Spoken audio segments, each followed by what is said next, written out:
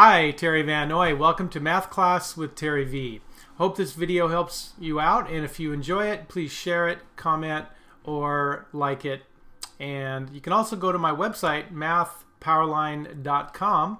It's a math resource blog, uh, lesson videos for students, and other resources for parents and teachers. Give me a call or go to my website or email.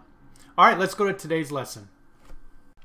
All right, and welcome to this video. This is uh, graphing functions, parabolas, and it's the first video in the series. A parabola basically is this kind of shape. It's a U shape, and I'll just kind of sketch it out here. Um, and you'll see a typical parabola equation, a function that results in a parabola looking like this. This is called a fun parent function. And notice how it's a degree of 2, okay? The variable x usually is to 2. Now there might be other things involved here as it gets a little more complicated, but you'll see that 2 exponent. It's a second degree function.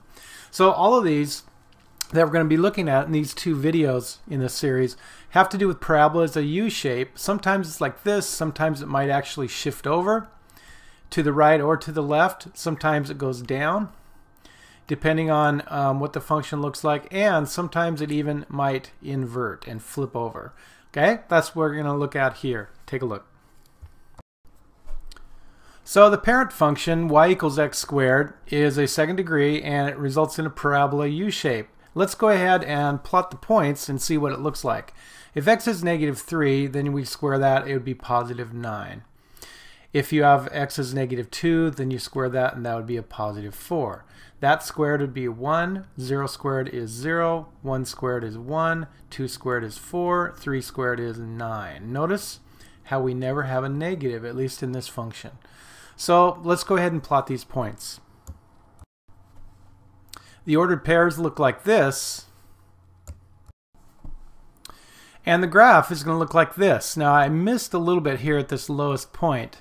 But that, by the way, is called the vertex, and that's supposed to be at 0, 0. Kind of tough to hand draw, but you can use a graphing calculator too. Notice how as x gets larger in a positive direction, y really increases quickly, because of course we're squaring those values. And as we go back on the x-axis to negative values going forever, again, it becomes a positive y value going forever. So it's a very symmetrical U shape. And at this point, we have no negative y values. Now let's go ahead and make an adjustment and let's say that we have the same function but we're going to add 2 to it. Let's see what happens to the u-shaped parabola. Now if we're going to square the x value and then add 2 to it then we're going to have some new values. Now I'm just going to kind of keep to a green color here. We're going to add 2 to all of these. So this would be 11, this would be 6, this would be 3, this would be 2, this would be 3 again, and 6 again, and 11 again. All right, let's see what happened with our ordered pairs. The ordered pairs would look like this,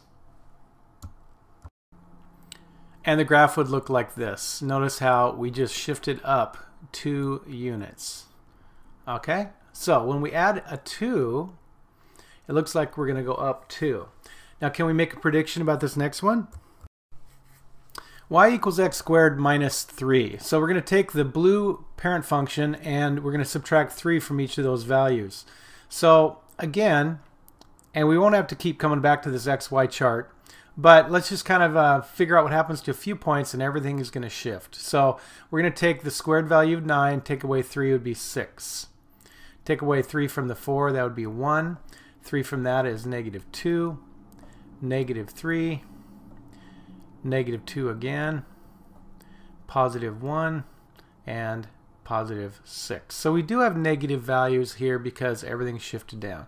So we take the vertex at 0, 0, and we're going to shift it down 1, 2, 3. Therefore, all the points in the blue function shift down 3. The ordered pairs in purple look like this.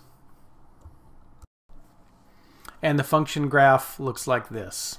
All right, so obviously when we subtract 3, it's a downward shift. So adding a number shifts the parabola up, subtracting a number shifts it down. Now let's look at some other variations of this parent function. So the blue parent function looks like that, typical U parabola shape, but what if we manipulate it so that In this case, maybe multiply everything by 2. Put a 2 in front of the x squared. Let's see what happens. So we know that we're going to square that and get 9 and then multiply that by 2 and jumps up to 18. This squared would be 4 times 2 would be 8. Square that times 2 would be 2. 0 squared is 0. Double it is still 0 and so on. So obviously we know it's a very symmetrical function and in this case they're all positive and let's see what effect that has on our graph. So negative 3, positive 18, that's going to jump way up here off of the graph. Can't quite fit that on. Let's go to negative 2, positive 8.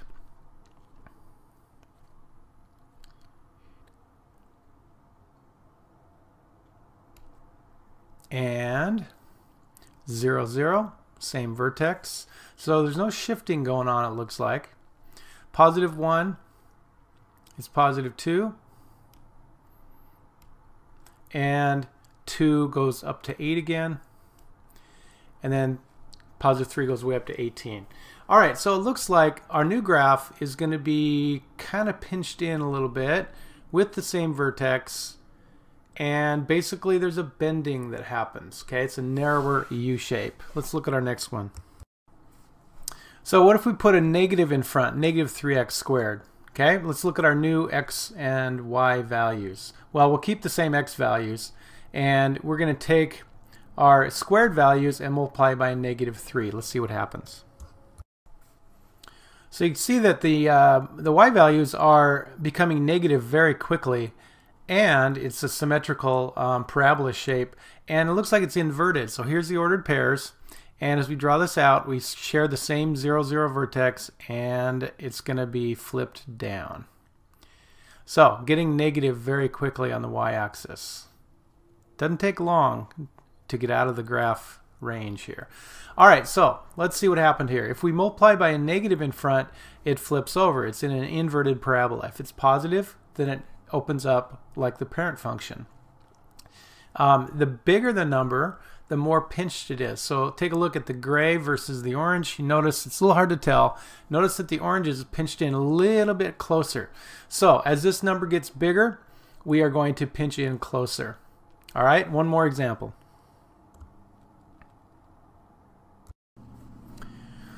y equals 1 fourth x squared. So we're going to shrink down this multiplier number, this constant that's being multiplied in front of the x squared and see what happens. Do you have any guesses? All right, if you're doing this on paper, go ahead and um, sketch out what you think the graph looks like and check back with me. So the ordered pairs would look like this, and the graph, uh, a little bit easier to draw actually, um, is going to follow this path. All right, notice how it's not quite so narrow, and whoops, so we have a flattening out effect. So the smaller the multiplier number on the outside, the flatter it is. Okay, the larger the number, the more narrow it is. It's a more narrowing effect. All right, and one last look. I want you to um, try something and then go ahead and make a comment to this video and see if you can describe what that parabola would look like. So if I give you this um, second degree function, and y equals 3x squared minus 4. Based on what we've looked at so far, try to make a prediction. What does that 3 do on the outside there and the effect of subtracting 4? All right, take care. I'm glad you were watching this video. All right, there you have it. I invite you to go to my website now, mathpowerline.com, or email me or give me a call. The way I work best with students is live online in my classroom. So if I can help you in any way, answer some specific questions, the first lesson with me is free as I show you how everything works. All right, study hard and take care.